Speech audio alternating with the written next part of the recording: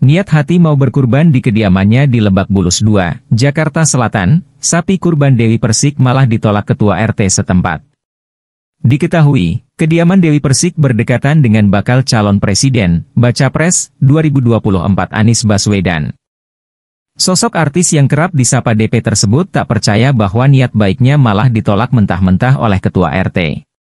Dalam unggahan Instagramnya pada Selasa, 27 Juni 2023, Dewi Persik membeberkan rasa kesalnya. Dia menjelaskan bahwa ketua RT di tempatnya mengaku daging sapi di kawasannya sudah cukup. Dewi Persik menduga tidak diterima dengan baik oleh ketua RT setempat ketika ingin berkurban sapi. Menurut keterangan Dewi Persik, sang ketua RT mengatakan tidak membutuhkan daging sapi darinya. Aku minta tolong ke Ustadz di dekat rumah untuk menitip sapi untuk kurban.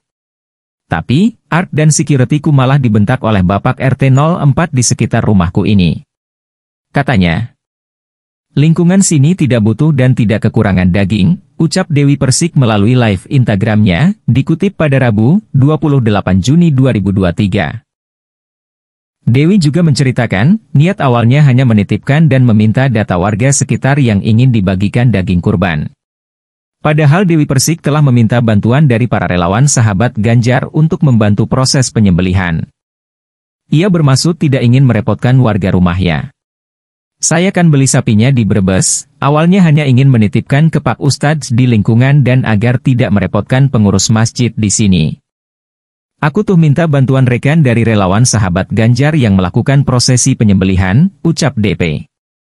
Tidak hanya itu Dewi Persik justru dimintai biaya sebesar 100 juta rupiah apabila hewan kurbannya ingin tetap diurus dan dibagikan kepada masyarakat yang membutuhkan di sekitar rumahnya.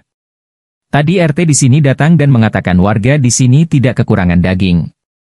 Kalau sampai jam 7 malam tidak dibawa sapinya, akan dilepas kata Pak RT-nya. Hei kamu ngomong ini lebak bulus 2 RT 4 kamu ngomong enggak butuh daging, kamu emang enggak butuh daging tapi warga lu butuh, ujar Dewi Persik. Dia kalau kita 100 juta rupiah laporan ke kantor polisi, pungli itu enggak benar, sambungnya. Sebelumnya, Dewi Persik sudah sering melakukan kurban di tempat itu namun tidak pernah ada masalah. Terakhir, ia pernah memberikan bantuan sembako kepada warga. Bantuan sembako tersebut turut dibantu dibagikan oleh ustaz setempat. Warga pun menyambut baik bantuan sembako DP. Dalam keterangan, Dewi Persik juga menuliskan bahwa dirinya ditantang oleh RT untuk bertemu. Bahkan RT-nya nantangin saya. Berani sekali Anda nyuruh-nyuruh Art untuk menyampaikan ke saya, apa karena saya bertetangga dengan Pak Anies Baswedan, tulis Dewi Persik.